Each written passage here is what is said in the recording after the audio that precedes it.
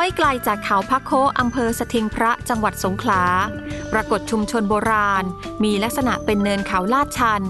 พบถ้ำที่สร้างโดยมนุษย์จำนวนสองถ้ำภายในถ้ำมีการสกัดหินจนเรียบ พื้นที่ภายในสามารถบรรจุคนได้ประมาณ 20 คน จากการพบแผ่นหินโยนีสี่เหลี่ยมจัตุรัสขนาดใหญ่ ซึ่งเคยประดิษฐานศิวลึงที่บริเวณหน้าถ้ำสันนิษฐานว่าถ้ำแห่งนี้เคยเป็นศาสนสถาน เพื่อประกอบพิธีกรรมทางศาสนาฮินดู ในลัทธิไสยวนิกาย หรือการนับถือพระศิวะเป็นใหญ่ ซึ่งน่าจะมีอายุระหว่างพุทธศตวรรษที่ 12ถึง14 แสดงถึงการได้รับอิทธิพลจากภายนอกของชุมชนโบราณคาบสมุทรสถิงพระแห่งนี้